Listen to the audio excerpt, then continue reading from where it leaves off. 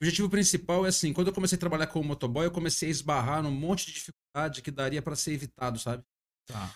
Então, por exemplo, era muito comum chegar num lugar lá, você pagava muito com cheque, né? Eu comecei a trabalhar em 2007. Então, assim, você pagava muita coisa com cheque, né? Não tinha Uhum. Pix, né? Então, enfim. Então, era muito comum chegar num lugar a pessoa falar assim: é um minutinho que eu vou procurar o meu talão. E era uma entrega agendada, manja. Era uma entrega que foi combinada dois dias antes. A primeira, a primeira ideia que eu tive não, era, não foi nem fazer vídeo pra internet. Eu comecei a pensar em escrever uma apostila. Tá. Uma hora eu falei assim, pô, vou, come- eu vou escrever uma apostila, mano, com dicas para as pessoas que lidam com o delivery Uhum. coisas que as pessoas de- devem evitar fazer. Então, tipo, ou que- coisas que as pessoas devem fazer pra facilitar a vida do motoboy. Então, assim, não deixar pra procurar um cheque na hora que o cara chega, sabe? Já deixar o cheque na- em cima da TV. Também isso de um tempo que a TV era larga, né? Hoje não dá pra colocar uma folha de cheque mais em cima de uma TV. É.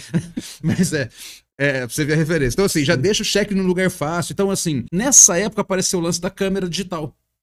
Tá. Eu nunca tinha tido uma câmera na minha vida, assim, né? Na época do VHS custava caro. e Eu nunca Sim. fui rico pra ter câmera de VHS. Quando ficou mais acessível e que saiu aquela câmerazinha digital, que abre a lateralzinha assim, eu comprei uma pela internet. Foi mais ou menos nessa época. Tá. Calhou de eu aprender a editar. Falei assim, pô, vou começar a fazer umas historinhas. Em vez de eu escrever uma apostila, Sim. eu vou escrever uma historinha, porque assim, era muito. Uma das primeiras histórias. Eu não escrevi assim, né? Eu nunca escrevi nada. Eu só alimento na minha cabeça e, gravo. Aí era muito comum, por exemplo, eu chegar num lugar e a pessoa falar assim: ah, desculpa demora. E eu- minha reação era: imagina. Puto, né?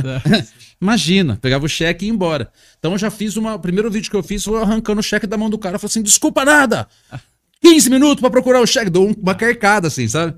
Então aí comecei nessa linha, mano. Então, assim, a minha, o meu principal objetivo era fazer as pessoas entenderem que o motoboy tem pressa. E um motoboy que sai, que perde 15 minutos na frente da tua casa, ele, mesmo que in- inconscientemente, ele pode tentar recuperar esse tempo e acabar morto embaixo de um ônibus.